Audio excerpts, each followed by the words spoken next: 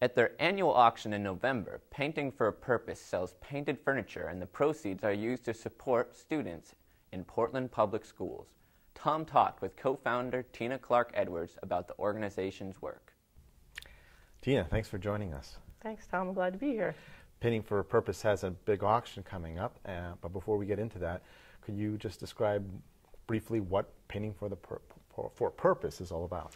Um, Painting for a Purpose is a group of people who really care about education in Portland and also really like to paint. So we started in 2009 a group of was really women, but we've expanded a little bit, who meet weekly to, to paint sort of whimsical furniture. And then we uh, have an auction in November 8th. Um, and we sell all that furniture, and then that money goes into a grant fund for kids in the Portland Public Schools to write grants to us about how they're going to make a difference. So we call that youth led service learning grants. And how did the idea come about to create an organization like this and actually have kids solve their own problems in the schools?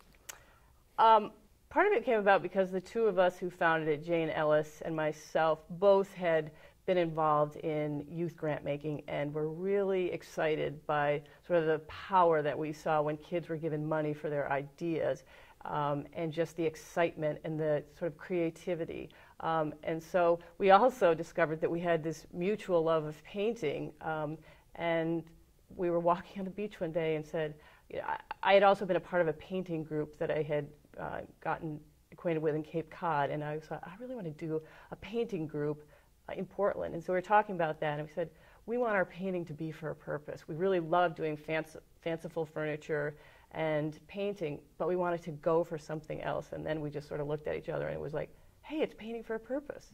And so we wanted it to be, you know, for this youth-led service learning.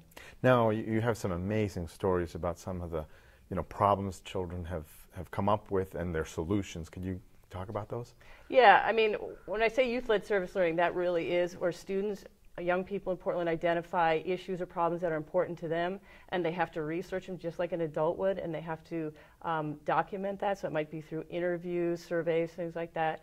And then once they understand the issue, then they come up with a solution, and then they they are then responsible for writing a grant to us and making their case. So some of the um, projects that we funded last year, we funded at Presumpscot School. The fifth grade had done a survey of um, wanting to know what were sort of the issues in the school, and one of what was identified as a top issue was that the cafeteria was a stressful place um, for students, and that oftentimes teachers would take kids back to their classrooms to eat for lunch rather than be at the cafeteria. So one particular young woman wrote a grant um, about creating an outdoor space where a teacher could take a classroom of kids at lunchtime. So they have a boulder garden now, which is a, you know a safe, calm space for kids to eat lunch. Another one is uh, at Lyman Moore School, they decided that their school was unwelcoming. So there was a club of students that decided that they wanted to create a mural. And so they worked with an artist. So we funded the artist to come in and um,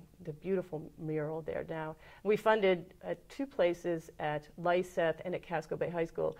Um, they identified that they wanted healthier choices for um, eating, and so they uh, both created school gardens. They also wanted to show students where their food came from. So those that's what a great what a great opportunity for learning about the community, about being involved, about their own empowerment. Now, just I'm sure people uh, would be motivated to support something like this. Could you talk a little bit about the auction? We have some examples right here. I can talk about the auction.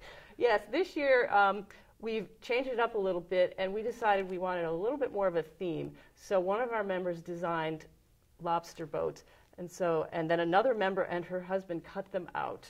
So these are made with love. And then we um, had we asked local artists to actually partner with some young people from Portland Public Schools art classes to um, paint boats. So these, some of these are a collaboration between students and uh, adult artists, and others are just um, artists. But um, they're all going to be sold at our November 8th auction at Grace uh, Restaurant are there other, uh, other items also for There auction? are other items. The students also painted dories. Oh, wow. Um, and so, there, so some of them go along together. And then um, group of us who meet weekly, the core painting for a purpose group and others, have painted all sorts of fanciful furniture. So that'll be in the silent auction. Great. How, how, what would be the starting bid for something like this?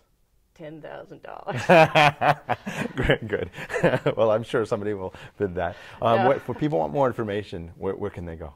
uh, can go on our website, paintingforapurpose.net, go on Facebook, or uh, give me a call at uh, 865 3642. Yeah, we definitely would like to have people there. Great. Well, thank you for joining us. Thanks. Keep your eye out for the boats and dories which will be on display throughout the city during the month of October.